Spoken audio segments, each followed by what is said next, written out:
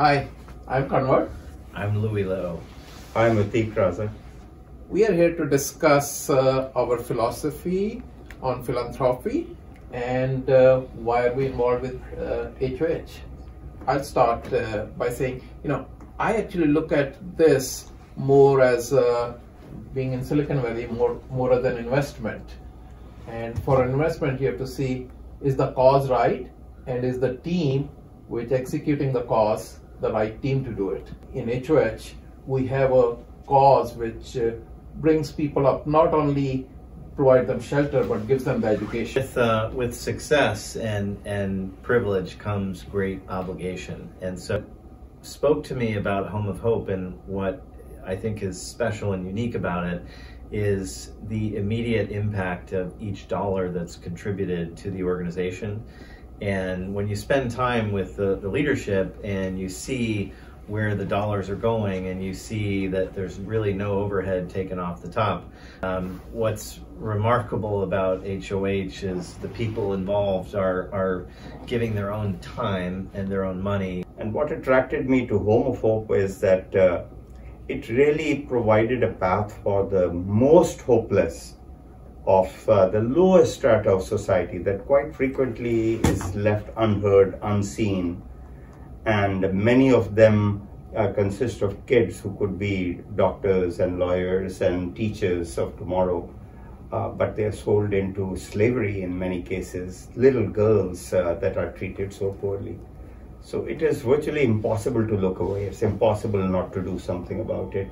And that's why, you know, basically I contribute to Home of Hope and try to persuade others to join the cause like you did with Louis. You know, interesting thing is, you know, I when I got initially involved, I looked at it as okay, I'm going to provide them with some seed funding, and uh, to see how it develops. And over last few years, uh, you know, it has moved from C funding to A round to B round, and now instead of them asking for money, I ask them, okay, what are we going to invest in this year? And having uh, all volunteer organization run primarily by women uh, who are spending, you know, their own time without, as you said, without any real compensation or anything, and they're passionate about it. And the other interesting thing is, you know, every dollar we invest in it, because they have now network of charities in India, that translates into multiple dollars because those charities are also getting funding from others.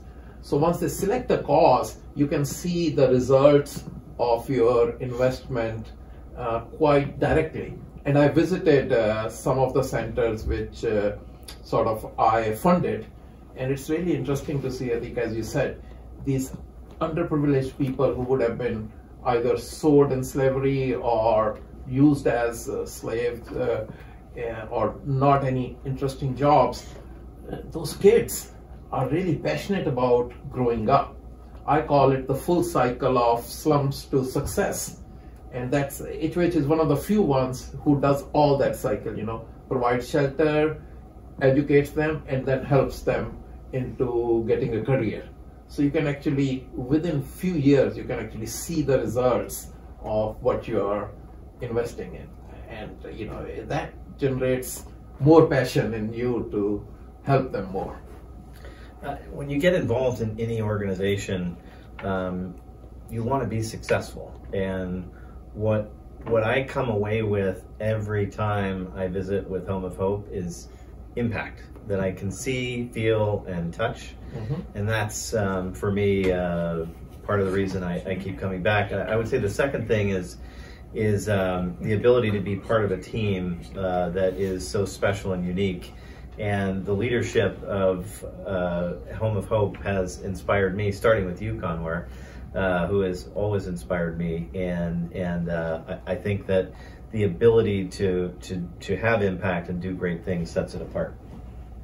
So there are many charities that provide uh, support for young kids in India, but uh, the uniqueness of Hope is that so it's a all volunteer organization where whatever money you contribute goes directly to the recipients, and that made a big difference. Plus uh, association with Nilma Sabarwal and Neelam and yourself Uh, and you particularly Kanwal played also a role in guiding their strategy, which basically gives me the confidence that, as you correctly uh, earlier pointed out, that the money will not be going astray, that it will be better directed, and that the results will be visible, and they are. And then I've turned around and done the same thing that you're doing. I've reached out to my friends. Uh, including Vinod Khosla, who has continuously every year increased the amount of uh, uh, money that he contributes. Other thing I like about is each one of the members of HOH, they are directly involved with few of the causes we are investing in, right? So they are personally involved in working with those charities, making sure that the money is spent wisely, and you know we have these budgetary meetings uh, at least i do with them to make sure are we getting the return on investment? How are we measuring the impact as we said? You know if i invest this what will be the impact and they have people involved who are you know more directly working with those charities uh, uh, young uh, kids uh, uh, relatively young entrepreneurs and they are also making sure that the causes are being handled properly. So that's why I'm saying the organization is designed to make sure that the investments have the right impact. And uh, that's great. I mean, at the end of the day, you know, the success we have had in the Valley as entrepreneurs or as lawyers, we can also see success by contributing to this cause, which really has impact on life of lots of people. The uh, ability to give back is something that Home of Hope offers me uh, that I find fulfilling and um, inspiring. Absolutely. It's fulfilling, it's inspiring, it is uh, really our obligation to give back.